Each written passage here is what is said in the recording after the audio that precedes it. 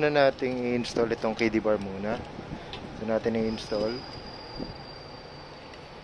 Tapos itong bag, sasabit dito sa KD bar. Ganyan. Yung wire, wire na kasama, ito. Pasok natin dito. Bubuksan natin tong cover gamit ang allen screw. Orange pala. Ito may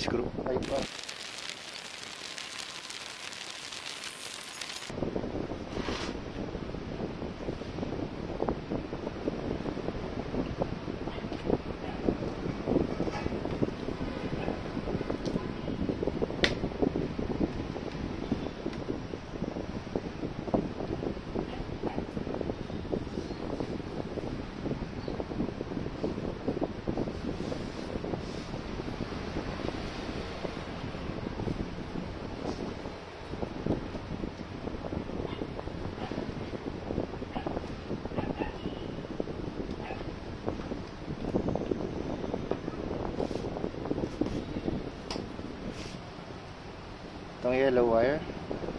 Ah, connector pala alisin. Pasok muna natin to. Pal- Papalakayan lang natin ng konti yung butas dito. Para mapasok natin tong wires.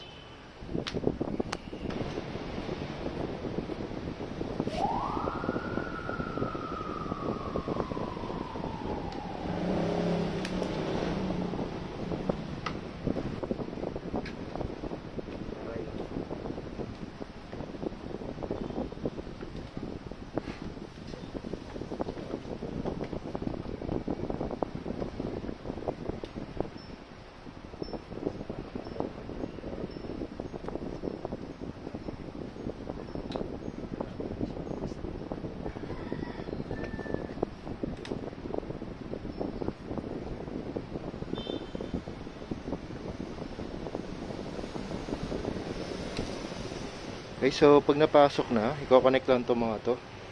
Alisin to, tapos connect dito.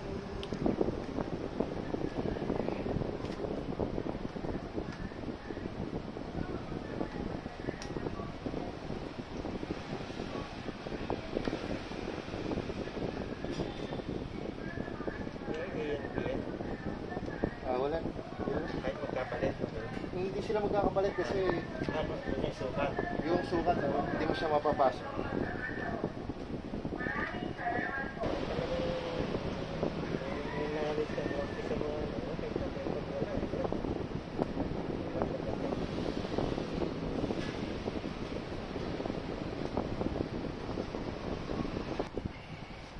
Okay, so ito naman, ito yung sa kabilang dulo ng wiring. Diyan siya galing. Ito na yung pinasok natin. Ito yung stock battery niya. Pagka inalis mo to, kakabit mo lang to dun sa kabilang battery, dito sa range extender.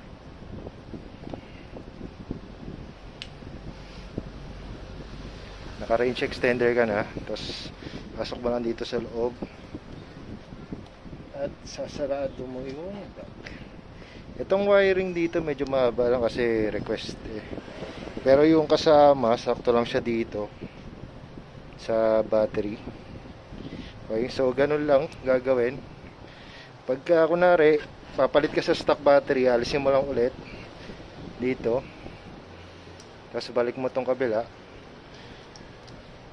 Stock battery ka na.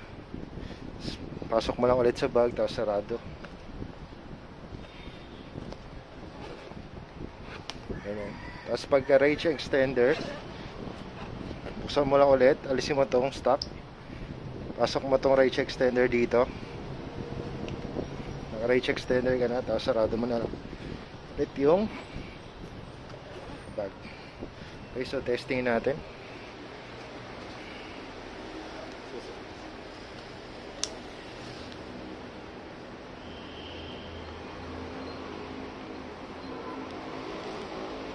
Yung voltage, 53.9. Tapos,